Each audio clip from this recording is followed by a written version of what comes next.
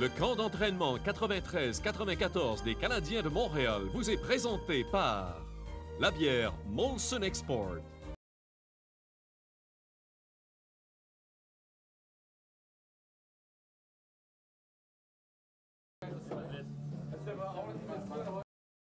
Trois mois après le dernier match de la Coupe Stanley, c'est le début d'une nouvelle saison. Et on refait les mêmes gestes avec le même souci du détail. Des gestes que la plupart posent depuis des années et des années.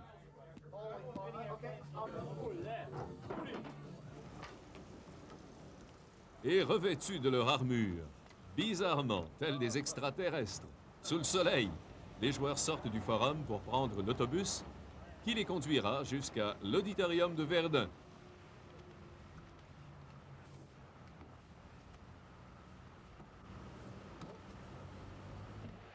C'est un premier entraînement, un entraînement optionnel.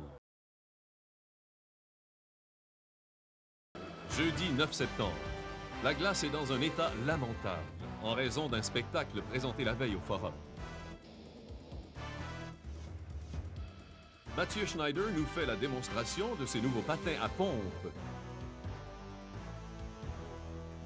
Tandis que Patrice Brisebois fait l'essai d'un nouveau casque protecteur à ajustements latéraux. Et Jacques Demers, pour la première fois, s'adresse aux joueurs.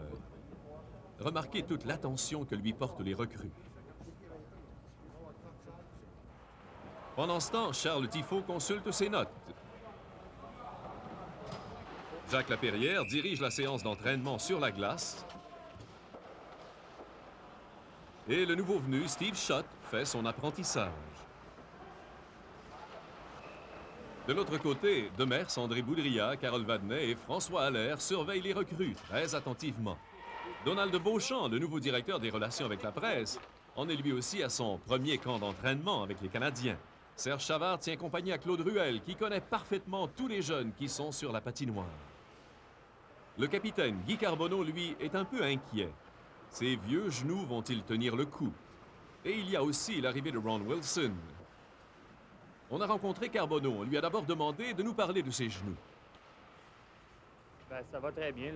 J'ai seulement que le genou gauche qui, me, fait encore un peu mal, mais euh, c'est beaucoup moindre que l'an passé. Euh, à chaque jour, je fais de la bicyclette. Je fais un petit peu de, poids et haltère pour le renforcer. Puis, euh, jusqu'à date, ça va très bien. On va voir comment ça va réagir demain. les quatre prochaines journées vont être vraiment cruciales pour moi parce que c'est quand même quatre bonnes séances d'entraînement. Euh, après ça, ben, je vais être capable justement de, voir où je suis rendu qu'est-ce que je vais être capable de faire. Le jeune Valérie Buret, 19 ans, deuxième choix des Canadiens au repêchage de 1992, s'est mis en évidence au cours de cette deuxième journée. Il a d'excellentes mains, c'est un marqueur naturel et on dit qu'il est plus efficace encore que son frère Pavel pour préparer des jeux. Sa mère et sa sœur étaient des spectatrices très attentives au forum ce matin-là. Valérie Buret, qui va certainement jouer dans la Ligue nationale sous peu. Dès le début du camp, la première journée, ils ont commencé à jouer au hockey avec intensité. Ils ne veulent pas se faire impressionner par les jeunes. Habituellement, Jean, c'est pas ton premier camp. Habituellement, les jeunes, on parle que des jeunes les premiers jours. Et là, hier, un, joueur comme Valérie Buret a tellement sorti du paquet parce que les vétérans ont vraiment bien performé. Alors ça, c'est vraiment surprenant. Puis ça me fait plaisir, moi, comme entraîneur, de voir ça, l'attitude des joueurs.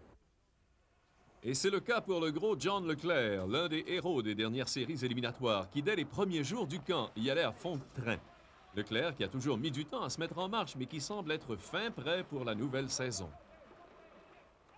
Vincent Danfous, qui entreprendra sa deuxième année à Montréal. 39 buts en saison régulière l'an dernier et 11 en séries éliminatoires. Danfous est un vétéran qui donnera encore plus de profondeur à la formation de Jacques Demers. Stéphane Lebeau, qui a dominé plusieurs des séances d'entraînement, il semble parfaitement remis de sa blessure à la cheville qui l'a incommodé durant les séries éliminatoires. On se souviendra qu'il a raté quelques matchs des séries à cause de cette blessure à la cheville.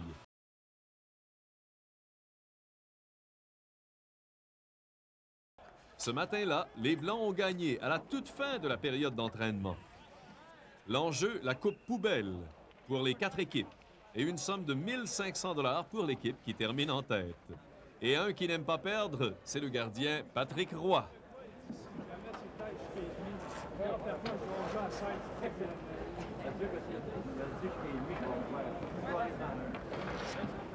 Le premier blessé du camp fut le défenseur Lyle Odeline, atteint par une rondelle à la mâchoire. Heureusement, il n'y avait pas de fracture. Il en a été quitte pour porter un protecteur pendant quelques jours.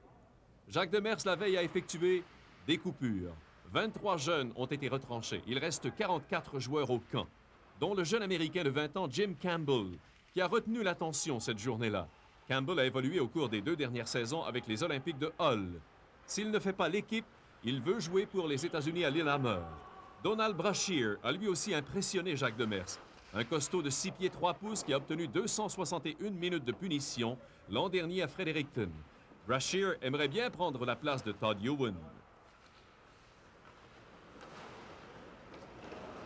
Turner Stevenson, premier choix des Canadiens en 1990, en est sans doute à son camp de la dernière chance. Mais il n'a pas été très impressionnant. Un talent qui tarde à se manifester. On va peut-être lui donner cette dernière chance cette année. Le jeune Pierre Sévigny a passé les deux dernières saisons à Fredericton. Il était très nerveux et tendu au début du camp d'entraînement. Mais petit à petit, les choses semblent se replacer pour Sévigny. De toute façon, on aime beaucoup Pierre Sévigny dans l'entourage du Canadien. Il est sérieux, travaille très fort et ne rêve que d'une chose, porter l'uniforme des Canadiens de Montréal. En voilà un à qui on donnera sans doute une chance cette année. Le gardien Les Conchar, que l'on considère comme le gardien d'avenir chez le Canadien, mais il retournera sans doute à Fredericton. L'ailier gauche Yves Sarrault de Valleyfield, troisième choix des Canadiens au repêchage de 1991. On lui préférera sans doute Pierre Sévigny à l'aile gauche, où il y a beaucoup de monde, Danfous, Brunet, Dionne et Roberge. L'une des belles surprises du camp, c'est ce grand Suédois, Peter Popovic, un défenseur de 6 pieds 5 pouces, repêché par le Canadien en 1988. Lui devrait rester à Montréal. Lindsay Vallis, un autre premier choix des Canadiens qui déçoit. Premier choix du repêchage de 1989, il a passé les trois dernières saisons à Fredericton. Le gros défenseur Brent Bilodeau, un autre premier choix des Canadiens, celui de 91. Bilodeau qui déçoit lui aussi par son manque de mobilité. À 6 pieds 4 pouces, il a pourtant le physique de l'emploi.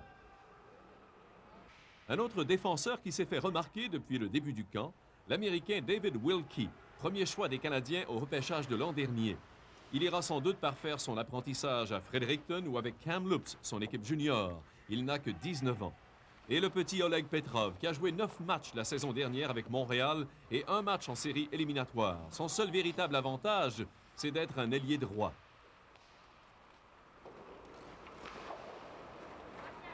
Valérie Buret, le frère de Pavel des Canucks de Vancouver, est encore d'âge junior, mais quel joueur de hockey! À plusieurs reprises durant le camp, il a reçu des éloges de Jacques Demers, un joueur d'avenir pour le Canadien. Et finalement, Charles Poulain, un joueur de centre originaire de Saint-Jean. Poulain qui, après ses années juniors à Saint-Hyacinthe, a joué à Fredericton la saison dernière. Il a retenu l'attention de l'équipe d'entraîneurs durant le camp, mais il y a abondance de joueurs de centre présentement avec l'équipe. Et quand on parle d'atmosphère spéciale au camp des Canadiens, regardez Guy Carbonneau donner des conseils à deux jeunes joueurs.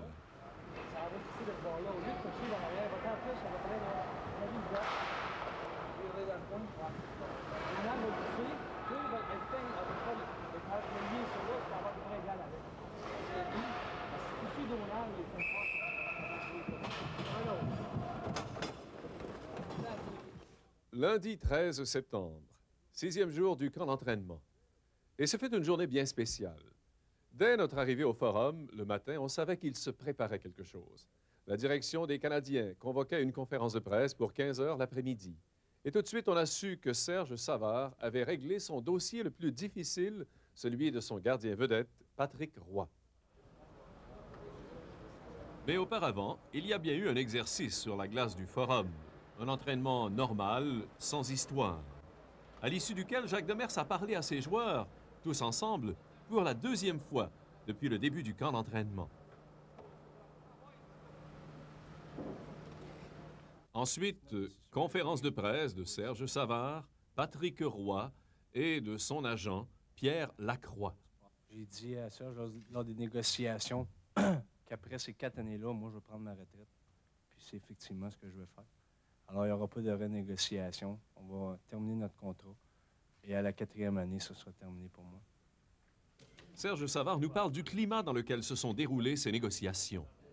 Je, suis excessivement heureux de voir de la manière que ça s'est, que ça s'est déroulé. Euh, il y aurait pu avoir un, commentaire blessant de part et d'autre, ou que le, parti aurait été obligé, l'autre parti aurait été obligé de répondre publiquement. Et ce genre de choses-là, moi, je n'ai jamais travaillé comme ça. Euh, j'ai un énorme respect pour Patrick. Euh, j'ai encore plus de respect aujourd'hui pour lui que j'en avais avant. Euh, je l'ai toujours eu. surtout le fait que vous regardez ce qui se passe dans la Ligue, des gars qui n'ont rien accompli dans le hockey encore, qui ne se rapportent pas leur camp d'entraînement. Et lui, lui, avec son, sens du devoir, dès le début, a dit Moi, je dois encore un année au club de hockey canadien. Quoi qu'il arrive dans les négociations, vais me rapporter au camp. Patrick Roy, lui, n'a pas créé de marché. Si le marché avait été un million, bien Patrick aurait demandé 900 euh, 000 si Mario Lemieux aurait fait un million. Mais le marché a été créé par d'autres. Patrick Roy s'est servi de ce marché et de juste valeur. Il y a des gars qui ont gagné 3 500 000 ou 2 800 000 dans la Ligue nationale qui n'ont pas fait la moitié de ce que Patrick Roy a fait, puis il y en a qui n'ont pas fait rien de ce que Patrick Roy a fait. ça, je pense que ça répond à tout. Un contrat de 16 millions de dollars. Patrick Roy devient le joueur le mieux payé de l'histoire des Canadiens de Montréal, le gardien le mieux payé de l'histoire de la Ligue nationale. Et il rejoint les Lemieux, Gretzky, Lindros, Hall et Marc Messier. Après la conférence de presse, nous avons rencontré Patrick Roy pour qu'il nous parle de ce fabuleux contrat et aussi de sa déclaration surprenante à l'effet que ce serait son dernier contrat en carrière. Disons que très, très heureux de la tournoi des événements. Euh, le fait d'avoir l'opportunité de finir ma carrière à Montréal. Euh, comme j'ai mentionné durant la conférence de presse, euh, j'ai toujours été très loyal et puis j'ai toujours abordé le, le avec beaucoup de fierté. Alors, dans le fond, je suis un CH. Et puis, pour moi, c'était important d'avoir l'opportunité, c'est-à-dire de terminer ma carrière ici. Il n'y a jamais été question de grève. Les négociations se sont déroulées dans un bon climat. Il n'y a jamais été question d'échange non plus. Bon, disons, c'est certain que c'était un bon climat. C'était très ardu, mais euh, ce sont des négociations. Et puis, euh, disons que c'est pas dans ma personne euh, de faire la grève ou de ne pas me présenter au camp d'entraînement. J'aurais été très inconfortable de soumettre mon cas à un arbitre. Alors, j'étais très content qu'on puisse s'en venir à une entente. Alors, surtout aussi, euh, Jacques a été une personne très honnête avec moi la saison dernière. C'était important pour moi d'être là. Mes coéquipiers ont été vraiment importants avec moi l'année passée. C'était important d'être là pour eux aussi. Et les partisans, euh, je pense que les partisans méritaient que je sois présent même si je n'avais pas de contrat. Patrick, euh, donc c'est un grand jour pour toi. C'est une décision qui est mûrie, ça, qui est, qui est définitive, que c'est terminé après ce contrat-là? Ouais, disons que c'est je pense que dans, dans, chaque carrière, on se doit de se fixer des objectifs. Et puis, souvent, nous, les joueurs de on ne va pas arriver la, situation et puis on s'arrive un jour ou l'autre, puis on est obligé de prendre notre retraite, on n'est pas prêt à prendre notre retraite. Alors, c'est jamais facile. Alors, euh, moi, j'en suis venu à la conclusion qu'après après ce contrat-là, euh, ça sera terminé.